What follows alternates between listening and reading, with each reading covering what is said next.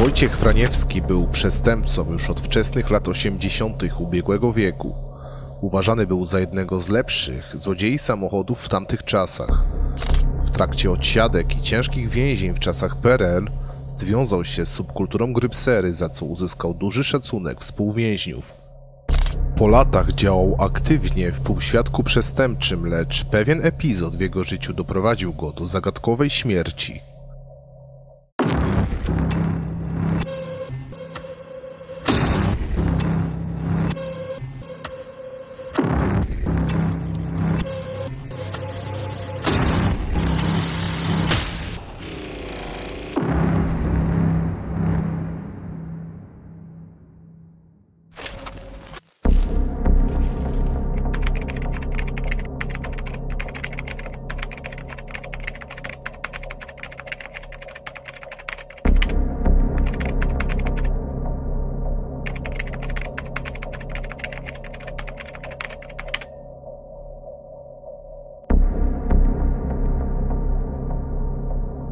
Wojciech Franiewski urodził się w 1960 roku. Ukończył szkołę zawodową o profilu ślusarz oraz później podjął pracę w wyuczonym zawodzie w jednej z nowodworskich fabryk. Informacji o jego wczesnych latach wejścia w dorosłe życie jest niewiele. Wiadomo jednak, że Franiewski nie na długo cieszył się legalną pracą. Dość szybko, bo już na przełomie 1979 i 1980 roku trudnił się kradzieżami pojazdów. W Polsce dopuszczać się miał kradzieży samochodów takich marek jak Warszawa czy Fiat. W tym samym okresie miał podejmować nieudane próby przekroczenia granicy do RFN. Pod koniec 1980 roku trafił za kratki więzienia w Czarnem. Oskarżono go o kradzież samochodu marki Fiat 125P i skazano na 6 lat więzienia. W listopadzie 1983 roku uciekł z więzienia w Czarnem przy pomocy własnoręcznie zrobionej składanej drabiny. Brawurowa ucieczka przyniosła mu splendor w półświadku przestępczym, jak i wśród reszty osadzonych więźniów. Wrócił wówczas do kradzieży pojazdów i włamań do mieszkań w celach rabunkowych. Nie nacieszył się długo wolnością, bo w grudniu 1984 roku został złapany w Warszawie i doprowadzony do komendy Milicji Obywatelskiej na Woli. Jednakże przechytrzył kolejny raz komunistyczne organy ścigania i ponownie uciekł. Istnieją dwie wersje ucieczki z komendy.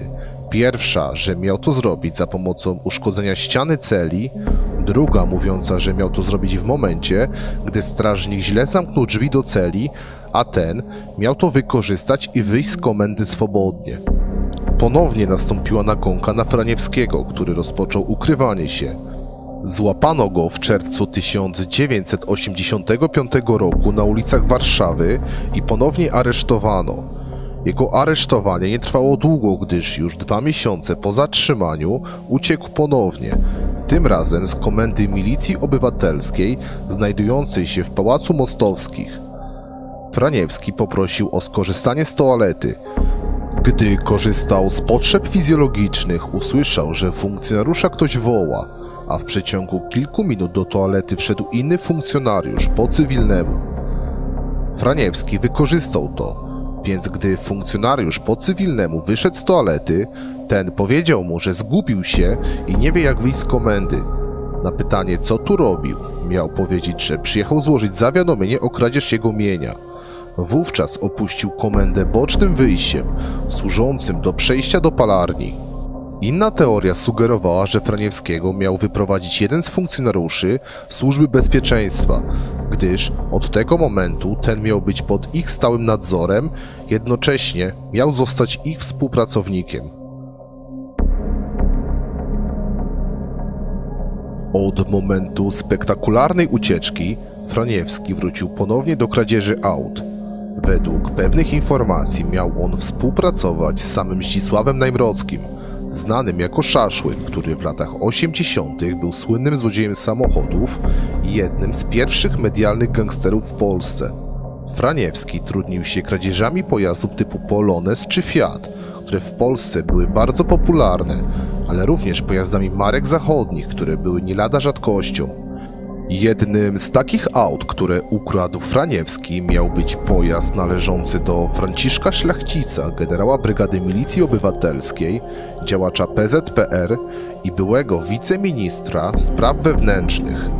Franiewski dodatkowo miał dokonywać kradzieży aut na terenie RFN i tam upłyniać je paserom. Mówiło się, że robić to miał w ramach współpracy ze służbami w Polsce, lecz nigdy nie zostało to udowodnione odpowiednią dokumentacją. Gdy ukrywał się w Polsce, nastąpiły zmiany ustrojowe. W tym czasie, bo w roku 1989 Franiewski został zatrzymany i otrzymał pierwszy poważny wyrok, a mianowicie 7 lat więzienia. Osadzono go w więzieniu we Wronkach i tam też docelowo miał odbywać swoją karę. Wewnątrz więziennych murów mógł szczycić się wysoką pozycją w strukturach grypsery. Widząc, że w Polsce dochodzi do rewolucji i zmian politycznych, wraz z innymi osadzonymi zorganizował bunt w więzieniu, na wzór buntu w innych jednostkach penitencjarnych w Polsce. W latach 90. ubiegłego wieku Franiewski wszedł jako ważna postać subkultury więziennej nazywanej grypserą oraz jako twardy i bezwzględny przestępca. Karę odbywał w zakładzie karnym w Płocku. Tam też uznawany był za jednego z najważniejszych więźniów. Chwalił się swoimi znajomościami, w których można było uwzględnić kilku znanych gangsterów z takich grup jak Nowodworska, Pruszkowska, Markowska czy Wołomińska. W 1991 roku otrzymał kilka przepustek z więzienia, pomimo jego negatywnej opinii wśród administracji więziennej. Na jednej z nich zakupił drogi, jak na tamte czasy, magnetowid VHS. Dla współosadzonych miał zorganizować amatorskie kino, nawet nieodpłatnie finansowo, lecz w formie usług. W 1992 roku, gdy Jan Paweł II odwiedził Polskę, w tym kilka więzień, odwiedził również zakład karny w Płocku. To właśnie Wojciech Franiewski miał zostać wytypowany jako ten, który wręczył prezent podarunkowy dla papieża. Kilka miesięcy po wizycie papieża, Franiewski otrzymuje kolejną już kilkudniową przepustkę. Tym razem nie miał zamiaru wracać z niej do zakładu karnego. W tym samym czasie policja przypuszcza, że Franiewski zorganizował własną grupę przestępczą, składającą się z przestępców z terenów Legionowa, Serocka czy okolic Płocka, a także skazanych i recydywistów, z którymi odbywał wyroki. Według niepotwierdzonych informacji, grupa Franiewskiego, który miał posługiwać się pseudonimem Gruby lub Franio, miała trudnić się kradzieżami czy włamaniami. Miał on również współpracować z gangsterami z Nowego Dworu Mazowieckiego, Płocka, Pruszkowa czy Wołomina. Franiewski swoją grupę prowadził do 1997 roku. W tym czasie miał dorobić się domu w miejscowości Kałuszyn koło Nowego Dworu Mazowieckiego, a także prowadzić legalne przedsiębiorstwo. W tym samym roku wpadł i został aresztowany do odsiedzenia pozostałego wyroku, który nad nim ciążył. Doprowadzono go do zakładu karnego w Łodzi. W więzieniu wielokrotnie tworzył pokaz sił wobec strażników i administracji. Według opowieści w 1998 roku miał skontaktować się z gangsterami powiązanymi z Pruszkowem, a ci w ramach jego poparcia mieli udać się pod zakład karny, by udzielić mu poparcia i wskazać go jako ważnego człowieka na mapie przestępczej w Polsce. Franiewski wciąż cieszył się względami u władz więzienia. Z potwierdzonych informacji wynika, że pomiędzy 1999 a 2001 roku otrzymał aż 37 przepustek. W czerwcu 2001 roku Franiewski otrzymał warunkowe zwolnienie z zakładu karnego nr 1 w Łodzi, pomimo iż komisja penitencjarna negatywnie zaopiniowała jego wystąpienie z tymże wnioskiem. W tym samym czasie w warszawskiej aglomeracji nie było już tak potężnych grup przestępczych jak Pruszków czy Wołomin. nastąpiła nowa fala młodych przestępców i ich grup. Franiewski najprawdopodobniej odnawiał swoje kontakty przestępcze. Współpracować miał z gangiem nowodworskim czy grupą Mózga. Na początku XXI wieku popularne stały się porwania osób majętnych lub członków ich rodzin. Wojciech Franiewski wraz ze swoją grupą planować miał porwanie kogoś z rodziny Olewników, która należała do potentatów z branży mięsnej. Włodzimierz Olewnik był producentem wędlin i wyrobów mięsnych znanym w całej Polsce. Swoją firmę o nazwie Olewnik prowadził w miejscowości Drobin w okolicach Płocka. Wojciech Franiewski planował porwanie kogoś z rodziny Olewników, widząc w tym łatwy zarobek. Jego grupa dotychczas nigdy nie porywała nikogo dla okupu. Tym samym była to ich pierwsza tak zorganizowana akcja. Przez dłuższy czas obserwowali oni rodzinę i na potencjalnie porwaną osobę wytypowali córkę Włodzimierza Danutę oraz jego syna Krzysztofa. Ostatecznie zdecydowali się porwać Krzysztofa. Obserwowali jego dom przy ulicy Płockiej w Świerczynku koło Drobina. Luksusowy dom był obserwowany już w sierpniu przez grupę. Dodatkowo w grupie byli ludzie z miejscowości Drobino. Robert Pazik, pseudonim Pedro, był mieszkańcem Drobina. W przeszłości miał pracować nawet w zakładach mięsnych Olewnik. Tak więc znał on statut i usytuowanie rodziny Olewnik. Krzysztof Olewnik prowadził indywidualne biznesy, m.in. ze swoim wspólnikiem Jackiem Krupińskim w obrocie stalą. Miał być oczkiem w głowie rodziców, a dom, w którym mieszkał, miał mu sprezentować ojciec. Z nocy 26 na 27 października 2001 roku w domu Krzysztofa była impreza.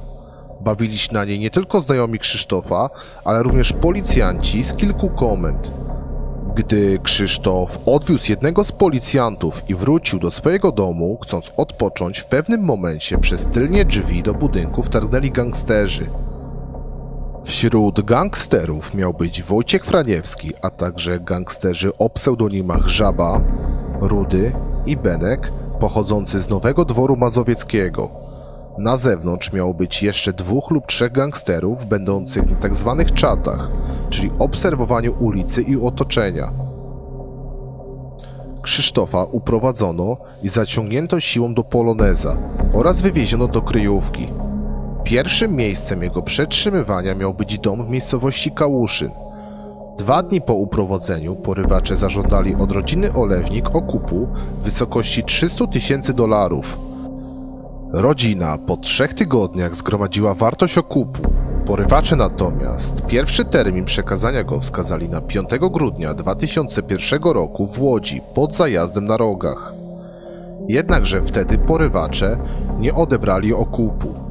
W międzyczasie Krzysztof miał być torturowany.